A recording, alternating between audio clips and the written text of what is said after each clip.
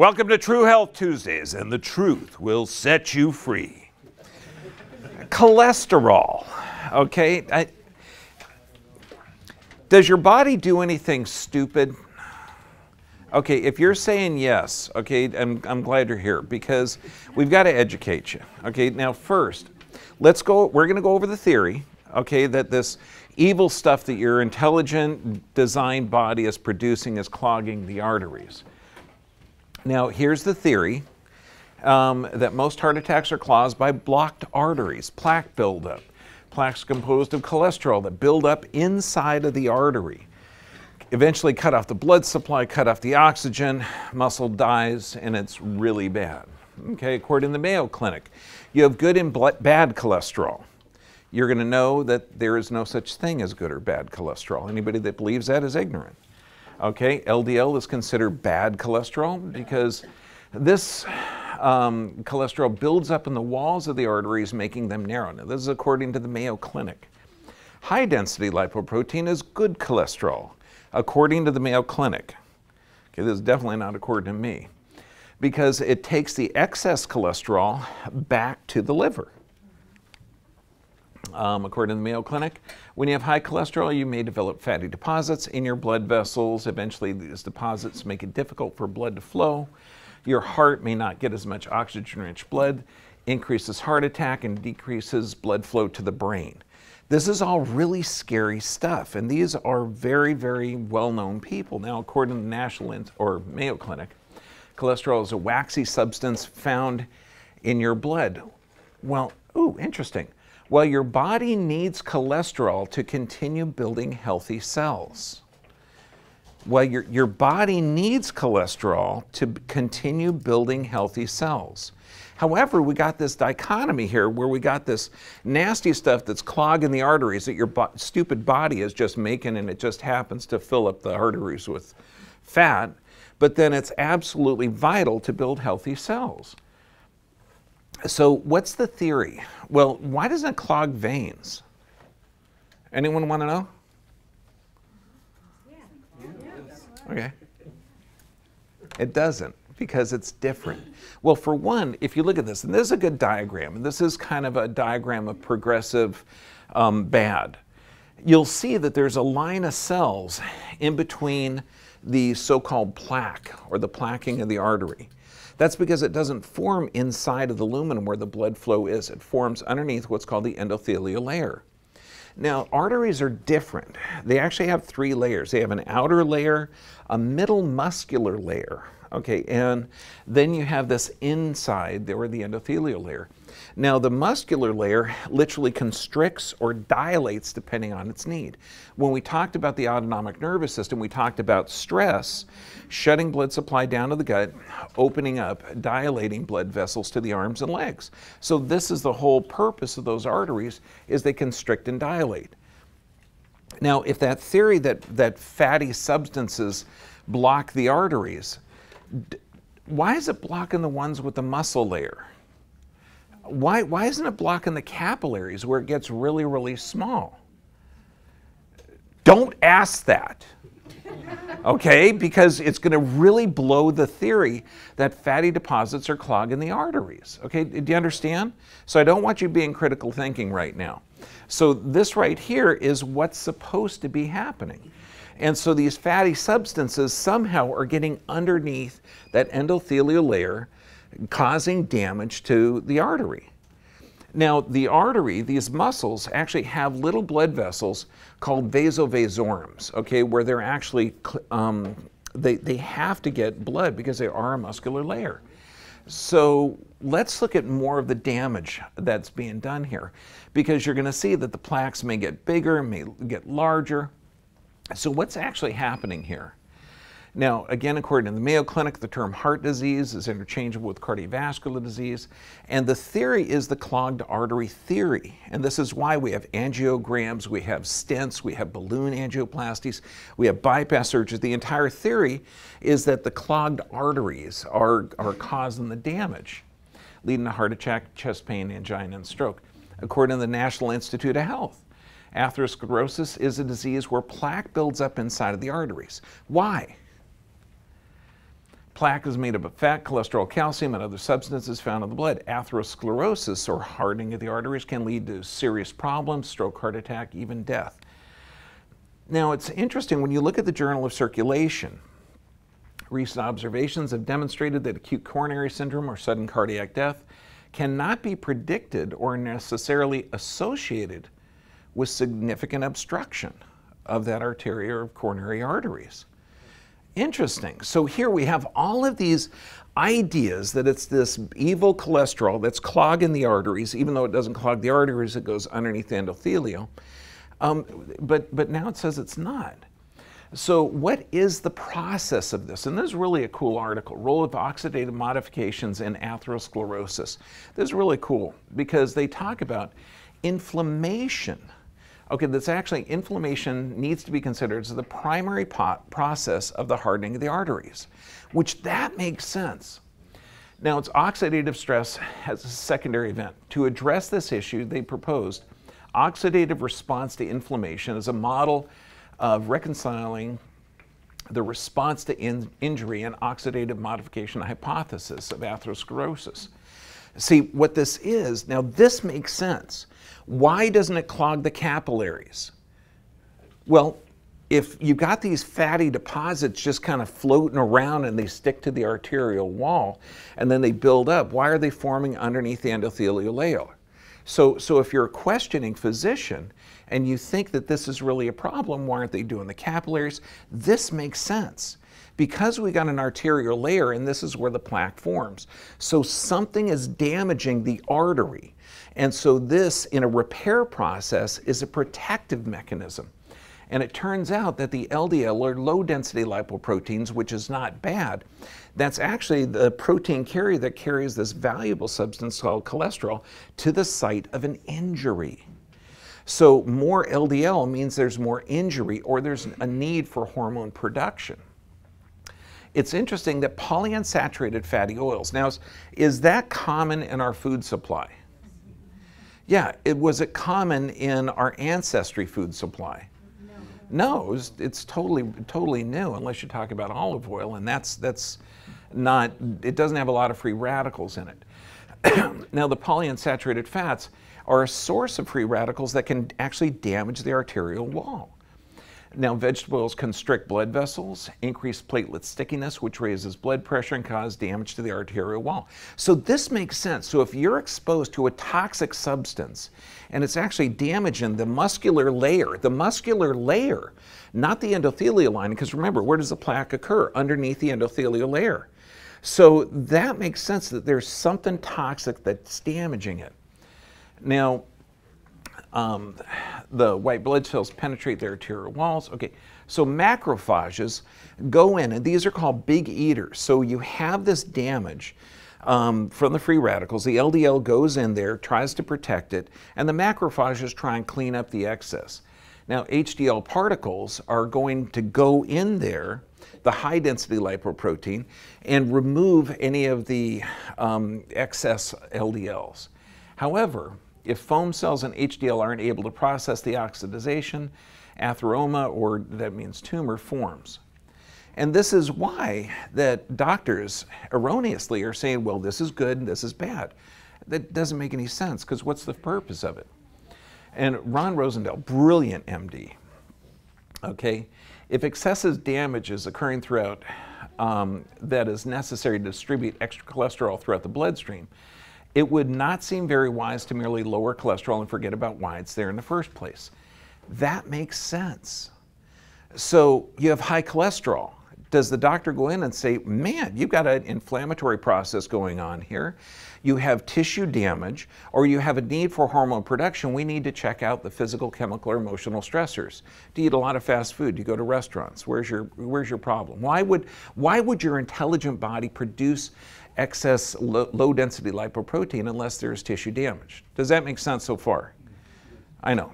There's still a couple of people here saying, no, I was taught that LDL is bad and HDL is good. I'm going to hold on to this knowledge. Till I get halfway through the lecture, then my mind will explode. Okay, so it's the reason for chronic inflammation. So we got to look at what's causing inflammation. Think, think of this. You know, instead of a scar, let's say you have multiple traumas, multiple damage to those arteries. Now, the arteries are so important that if you cut an artery in the leg, you're dead in about 10 minutes. You cut an artery in the, in the abdomen, you're dead in about 15 seconds. Okay, they're, they're under tremendous amount of pressure. So the body to protect those arterial walls, it's, it's huge. Um, no cell can form without cholesterol. So cholesterol is a vital substance. It's not just going to be willy-nilly clogging arteries. That doesn't make any sense. So if you have high levels of cholesterol in your body, you got two things going on. A need for hormones or there's a sign of tissue damage. Now, do we have a lot of inflammatory processes going on in our population? Okay, have you ever heard inflammatory diseases like inflammatory brain diseases, you know, such as autism or asthma or bronchitis or itis of anything? Okay, those are inflammatory diseases. Okay, and your body's going to produce cortisol which is great anti-inflammatory. What, what does your body make cortisol out of? Cholesterol. Cholesterol. Oh, that's so true. So if you're exposed to something that inflames the body, you're right. So we look at the structure of this. High density lipoprotein is not cholesterol. That is a protein carrier to carry this fat molecule, okay, through this liquid blood. Low density lipoprotein is not cholesterol. It's a protein carrier that carries this valuable fat molecule through the blood. And this is the constituents of it. And you'll see HDL and LDL, they have a little bit different constituents, but you know, it's, it's basically the same material. Now they talk about different types of LDL, and they call it very low density lipoprotein or intermediate density lipoprotein. Now the very, the VLDL uh, now, some doctors are starting to learn that this is the really bad cholesterol, that it's very, very dense and small and can actually damage the arteries. However, VLDL is converted in the bloodstream to LDL, to low density lipoprotein. So if we have excess VLDL and it's actually converted to something that we can utilize LDL, which is low density lipoprotein, which five minutes ago you thought was bad cholesterol, you understand it's not bad cholesterol now, right? Okay, yeah. If you still don't get it, you will in a couple of minutes. Okay, so, so the VLDL is actually converted. So when we have excess VLDL or very low density lipoprotein, there's, there's got to be a problem with the conversion. You know, what's causing this? So you just don't want to lower it. Well, low density lipoprotein, which is converted from VLDL, it's, um, it has a job.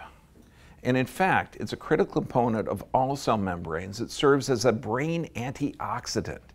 So that means any type of thing that's going to damage the brain, we need excess or higher LDL levels.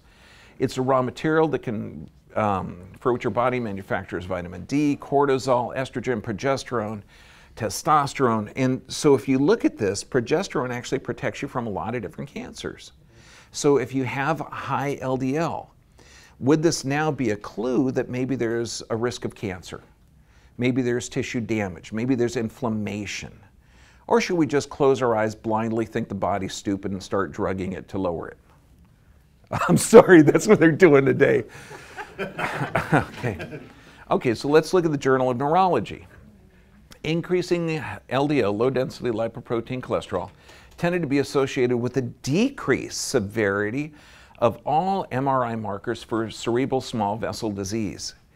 Increasing. Wow. So that means more LDL, more of what you know people erroneously called bad cholesterol.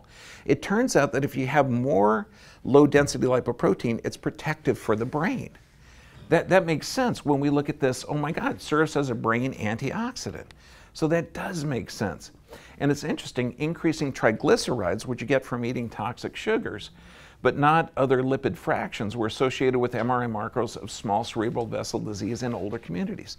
And this is uh, huge because have you heard of dementia? Okay, is that a problem today? Do you know that it costs four times to treat dementia in this country what it does to treat cancer? So, so this is huge. um, researchers concluded that there was a strong correlation between threatening brain changes and the blood measurement of triglycerides. However, high low density lipoprotein was associated with less risk of brain changes. Holy moly, this is not the bad guy that we were led to believe. And so the triglycerides reflect blood sugar, okay, or, or toxic sugars, not the amount of fat a person consumes. So it turns out that LDL has a protective effect. Good God, this can't be.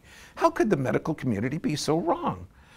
Okay, let's look at the Journal of Stroke. Since carbohydrate intake is associated with atherosclerosis of the large arteries within the brain, eating lower amounts of carbohydrates would be a wise dietary modification. That makes sense. It does. Okay, New England Journal of Medicine. Let's look at strokes. Despite opposing relationships between cholesterol levels to ischemic hemorrhagic strokes, the distribution of risk is not evenly across cholesterol. The Mr. Fit trial was brilliant. Okay, I mean, this thing went through, well, we detail out this in our six hour long high blood pressure cardiovascular disease series. But just look at this stroke mortality was the lowest between 180 and 200 cholesterol. Okay, that's, that's the lowest. Below that, okay, below 180 and above 240, it was the highest. So it turns out that we have a balance. Now, this is stroke. If you have stroke, do you have healthy blood vessels or poor blood vessels? Do you have healthy blood or poor blood? Do you have a disease process going on, possibly inflammation, possibly something else? So, so instead of just looking at cholesterol levels, now that you know that low density lipoprotein is actually beneficial and has a function, we have to start looking into it a little bit more. It turns out hypocholesteremic, this means low cholesterol patients, had a higher incidence of intracerebral bleeds, depression, and cancer.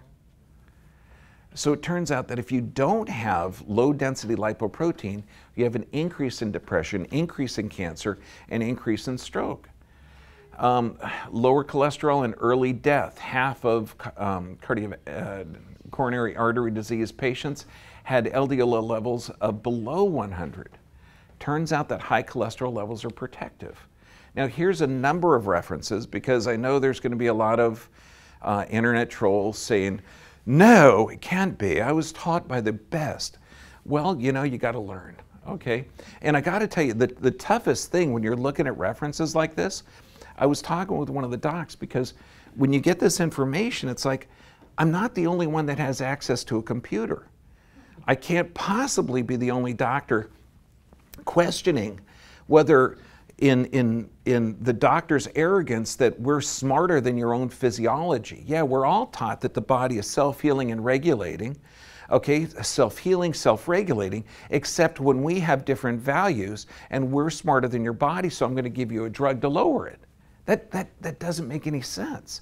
So, so I'm looking in there to find out if in our arrogance that we're actually causing more harm.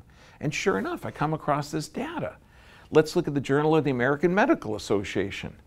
Okay, our findings do not support the hypothesis that elevations in cholesterol, hypercholesterolemia, or low HDL are important risk factors for all-cause mortality, coronary artery disease, mortality, hospitalizations, heart attacks, unstable angina in persons seven years old or over. So, I mean, that was back in 1994. British Medical Journal. Conclusions Lowering serum cholesterol concentrations does not reduce mortality and is unlikely to prevent coronary artery disease. Claims of the opposite are, are based on preferential citation of supportive trials. It sounds like there's an inside job going on there. So, so what happens? Okay, knowing that, that LDL cholesterol is no longer bad, that it's actually beneficial and protects the brain, and is vital for hormone production, and that's what that's what it does okay? And then if you have an excess of cholesterol after the hormone production and everything else, then the HDL brings it back to the liver to store it and wait for the next inflammatory response or tissue damage, okay? This, so this is the process that goes on.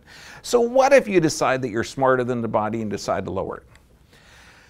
Yes, I know. Did anyone hear the cash register? First drug, baby. Man, if I didn't have morals or ethics, can you imagine investing in this one? $10 billion a year. It first, it crossed the $10 billion mark. First drug ever. I mean, just brilliant. Well, the effects of this, okay, because you can't say side effects, the actual effects of it headache, joint pain, constipation, sleep problems, insomnia. Wait a second, isn't the cholesterol the you know, vital substance around every cell? Unexplained muscle pain, confusion, memory problems. Oh, that's right, it was an antioxidant for the brain. Um, fever, tiredness, pain, burning when you urinate, uh, ur- no urination at all, increased thirst, fruity breath odor, drowsiness, nausea, stomach pain. Well, statins, okay, when they first came out in the studies, they knew that it depleted the body of coenzyme Q10, which is, which is really valuable. So in the first studies, they actually bound coenzyme Q10 to the cholesterol lowering drug in the trials, except that was really expensive. So when it got approved by the FDA, they decided to produce it without the coenzyme Q10. So it was um, heart failure more than doubled from 1989 to 1997. Heart failure. Now, now that's huge. What if we had any species on the planet, okay, that had a doubling of heart failure in that short amount of time? Would we go in and say, Good God, what's going on? Okay, or we would just say, hey, they're defective, they need more drugs. Okay, because I want to get that uncommon sense initiated here. We can't call it common anymore. Now, interference with the production of coenzyme Q10 by statin drugs is the most likely explanation. Well, I don't know. Let's look at something more recent. How about uh, 2015? Statins stimulate atherosclerosis and heart failure. Doctors that are watching this now, can you ethically or morally prescribe this stuff? Okay?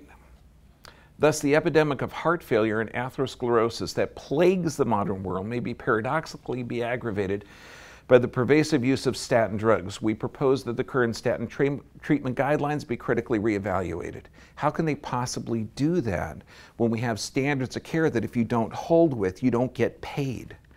Okay? I mean, it's, it's mind boggling. Let's look at clinical cardiology. Statin therapy was associated with decreased myocardial function, that's heart muscle function. Statin use is associated with increase in prevalence of coronary plaques producing calcium. So it increases the plaque, increases heart failure, increases damage to the heart muscle. New England Journal of Medicine, this is called the, the hidden study, okay? They had to stop it because an increased risk of mortality or morbidity to an unknown mechanism. We don't know, but there is too many people dying from the study. Okay, what about cancer? Remember, you need cholesterol for healthy, healthy cells. Okay, we need it for progesterone.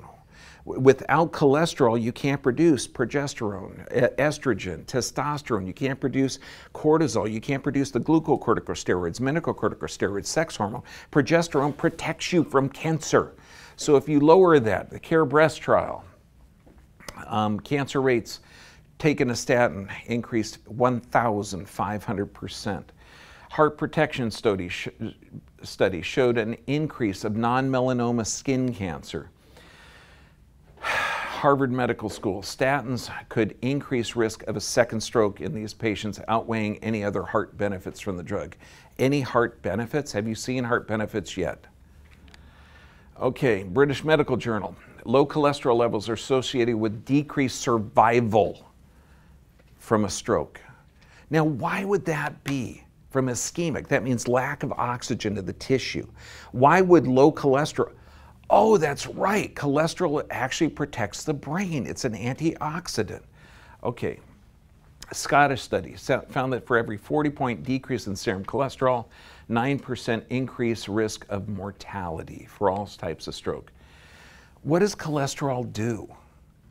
Okay, what does cholesterol do? Well, it's vital to proper neurologic function, plays a role in formation of memory and uptake hormones. So does that mean that if you're taking cholesterol lowering drugs that you can have damage to the memory? Um, serotonin, body's feel good chemicals. When cholesterol levels drop too low, the serotonin receptors can't work. Cholesterol is vital for the body's repair process. It's the pre- precursor to vitamin D Um, uh, bile salts required for digestion of fat are made from cholesterol. You need this. If you can't break down fats, you can't produce hormones. Cholesterol is a powerful antioxidant. That means if you have tissue damage, you need cholesterol for tissue repair. Cholesterol is the main organic molecule in the brain, constituting over half the dry weight of the brain. And, and, and we're lowering this. Cholesterol is a precursor to all hormones. Uh, it's glucocorticosteroids, minocorticosteroids, sex hormones. It's the building block that the body uses to make this stuff out of. Cort- uh, corticoids are the cholesterol based adrenal hormones that the body uses to respond to types of stress. There's like cortisol, promotes healing, produces sex hormones.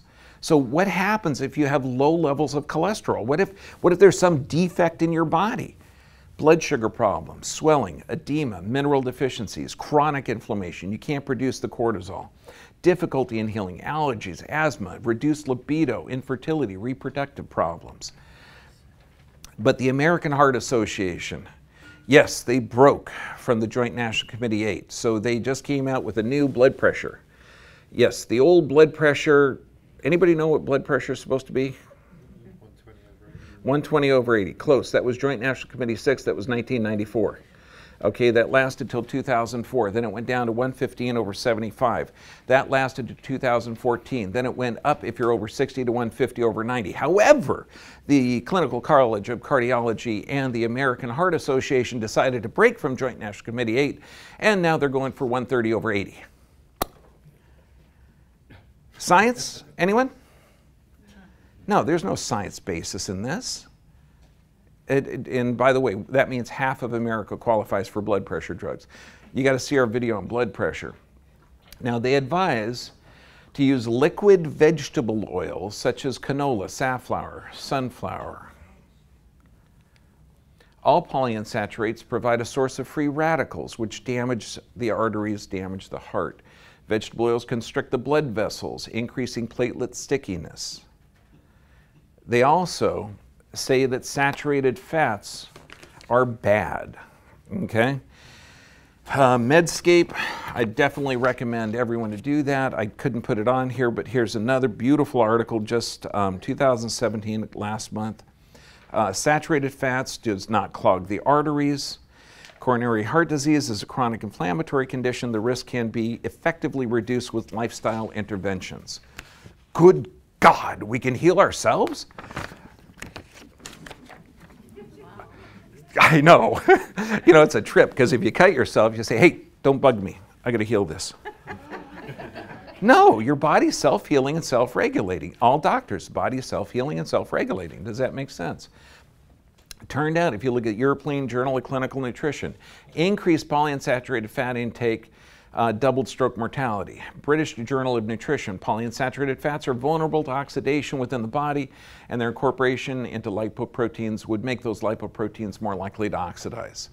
So uh, uh maybe the American Heart Association isn't reading.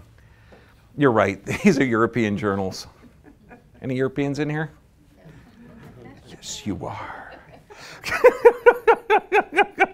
You're dressed better and look better than others. Yes, I know. I knew it right off the bat. And you're bigger and stronger than others. Yes. uh, increased omega 6 uh, polyunsaturated fats intake is unlikely to provide the intended benefits and may actually cause an increased risk of coronary heart disease and death. So that means what you put in your mouth is important. Now, the problem is omega 3 to 6 ratio or 6 to 3 ratio, it should be a 1 to 1 ratio. Disease starts at 8 to 1. American diet is 20 to 1. Some of the oils that the American Heart Association are recommending are 200 to 1. Okay, this is an inflammatory process. If you read packaged foods, it has these oils in there. Why? Because bacteria aren't going to eat that crap. Okay? It's bad for the bacteria, it's going to be bad for you. However, omega 3s from small animal sources are amazing. If you're vegan, you can get it from plant sources. But this, the Journal of the American Dietetic Association, since there's evidence that fatty fish is protective against stroke, we should give priority to reducing omega 6 from vegetable oils. Absolutely. Vitamin D3 and K2. This is essential, essential. Grass fed animal products, fermented foods, certain cheeses. This is what you got to do. In hyperlipidemic patients, serum vitamin D was a significant interdependent inverse determinant of total cholesterol. Okay? Yeah, I read this stuff. You know how it's worded? It's worded backwards and sideways. Okay? Serum vitamin D may be protective against cardiovascular disease. That's all you need to know. Okay? If you have healthy amounts of vitamin D. And if we're in northern hemisphere in the wintertime, you're not getting enough. So you got to get it from fatty foods. You got to take vitamin D supplements. You've got to get this stuff. Uh, Journal of the American College of Nutrition. Population-based study of middle-aged men's vitamin D deficiency had a significant positive association with the presence of coronary artery calcification. Is that a weird way to word it? You know, we don't have enough vitamin D and we're seeing an increased risk of damage to the arteries. It makes sense. This is what you need. Okay, when we talk about health, lose the arrogance. Okay, your body is going to have an elevation or an adaptive physiological response to inflammatory processes. If we damage the body, it's going to increase it. You need appropriate nerve supply. Why? Because those arteries are going to constrict and dilate based on your need. If you're in a stressed environment, those arteries are going to constrict blood supply to the gut and it's going to vasodilate blood supply to the arms and legs. It's going to put you in a stress state. Exercise. It's shown that if you exercise, you oxygenate the system, the body actually heals. Proper nutrition, this means reduce your polyunsaturated fat intake because hardening of the arteries doesn't occur. It's an adaptive physiologic response to toxicity or deficiency. You put yucky stuff in your body, you're going to have a yucky body. Okay, was that was that okay for her? Did she get that? If you put yucky stuff in your body, you're going to have a yucky body. that was only for you, dear. Okay, sufficient rest. You need this for regeneration of tissue and prayer and meditation. I mean, this is a snippet. We go into a huge, in this blood pressure course, I don't think it's available yet. It'll probably be available around January. But we detail out all the stuff on what blood pressure is, how it's measured, the interventions, how psychotic it is, and this is just a snippet on cholesterol. I mean, it, it's going to be several hours long. Um, already, you can see a lot of the videos that we have online, and look at the data. Because, I mean, it, it's only going to change from the doctors up. Okay, if the, the, the public goes into the doctor's office and they say, man, you have high bad cholesterol, and you've got this information and you say, well, gee, doc, doesn't LDL, isn't the precursor to all the hormones my body makes? And isn't that, you know, a response to environmental stimulus? Shouldn't I be looking at my stress levels? Okay, you know what just happened to the doctor? His stress levels just went up. question, question this stuff, because the quality of your life depends on the quality of questions you ask. Okay, now, any questions? Because next week we're going to talk about that hardening of the arteries. If they close, what are the interventions and how effective are they? That means stents, angioplasties, bypass, the data behind it, what it does. Yes, sir. There are a number of studies in the medical world where they show that lowering cholesterol, specifically lowering LDL cholesterol and ApoB, decrease the incidence of coronary artery disease. Mm-hmm. So how does that re relate to what you're saying? When you look at the study that talks about the British Medical Journal, saying those studies are not accurate, small sample size, maybe not too long, or they might not be looking at other other aspects of it. It's in very big studies, like the heart protection study, that had thousands and thousands of people over a long period of time given statin drugs, and, and they showed a, a very significant decrease in coronary artery disease. Mm-hmm. Here's one for um, 500,000 people of Denmark. Uh, people who took statins were more likely to develop polyneuropathy. Here's one ALLHAT. Largest North American trial ever. on cholesterol lowering drugs showed no difference after three and six years. Uh, 10,000 people, four years. Prevostat, the Prosper trial. Um, Prevostat compared to placebo, and these are people with no past cardiovascular event. 44% were had a secondary event. Total mortality and total serious adverse events were unchanged by pravastatin as compared to the placebo in the treatment group. However, the treatment group had an increased risk of cancer. So let me see, that's half a million, 10,000. What's your basis? Is the body not smart? Why is cholesterol produced? What's the function of cholesterol? See, when you go look and look at these studies, when you look at them, the body's stupid and we need to give a drug to counteract that? Or is it an environmental response to stimulus? You know, and this, this goes on like the, the basic common sense. It could be both. You know, the body does certain things that ultimately um, work against it. For example, in congestive heart failure, the cardiac output decreases. The, the body the receptors recognize that the cardiac output is decreased and causes the body to start holding on to salt and water. However, the body doesn't know when to stop. And so in, in severe congestive heart failure, it keeps holding on to the, the fluids. Those fluids spill into the lung and pulmonary edema happens and eventually the patient expires. So as physicians, we give diuretics and other medications to pull to get the body to stop pulling onto fluid. So the, mm-hmm. the body initially had a, a, a, a compensative response to, to pull on the salt and water to hold on mm-hmm. to increase the cardiac output, but it didn't know when to stop. So in, in, in, that sense, the body was not intelligent. It didn't know when to stop holding on. I would I would have a different different scenario on that, only because what started what what initiated the process process was there some type of physical, chemical, or emotional stress that wasn't addressed? Could, could there be a decreased protein synthesis where you're not making those, breaking the proteins to amino acids, so you had loss of integrity, where the lungs, um, the alveoli in the lungs weren't able to do that oxygen transfer?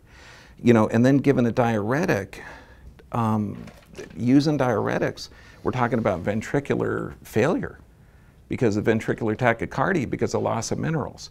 So for, for short term, possibly, but I'm looking at the long term at what the body does. Why is it there? I don't see a lot of times when the body is stupid. When the body has severe toxicity and deficiency, and the, most of the diseases we're treating are an adaptive physiologic response based on that toxicity or deficiency. I mean, I, when I look at the body, I think the body is intelligent. And I think its responses to the environment are intelligent. And then I look and I find out that the underlying source of it isn't that the body started to adapt to some toxic deficient environment and it, it just got stupid. Okay? The toxicity and deficiency ended up to be a pathological level. And that's when medications are absolutely needed, when the body is completely toxic. But when you start to give somebody with an elevation in LDL cholesterol a cholesterol lowering drug and not finding out why it's elevated, that, that doesn't make sense. Well, for example, like a, a patient who has uh, homozygous familial hypercholesterolemia, where their LDL cholesterol from when they're a child is 400, 500. Yes. And they start having a heart attacks at age 15 to 20. I mean, so uh, the body, they're eating the same thing that everybody else is eating, but their body, because of genetic mutation, is doing something that is not good for it and eventually leads to their death. Yeah, I'd, I'd like unless not intervened. Well, no, I'd like to find out what what the the genetic aberration is because we've got one gal, she's 97 um, her daughter was concerned because she's had cholesterol levels of over 500 for her whole life, and she's healthy. So that's an adaptive physiologic response to something, or it may be just normal for her. But kids dying at heart attacks, that could be a congenital aberration, and that's totally appropriate to use a drug. Completely appropriate. And it's completely inappropriate to give somebody a drug who has LDL, has an adaptive physiologic response to a toxic deficient environment. Yeah, I'm not saying don't use drugs, I'm saying don't use drugs stupidly. You know? Yes, ma'am. Here's some food for thought. I have what he was talking about, the mutant MTHFR gene, and my cholesterol has always been over 300.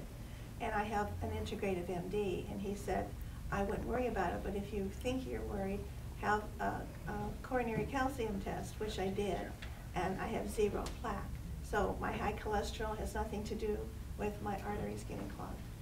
Just- You know, that's just what I have because of the genetic thing. Makes your hair pretty.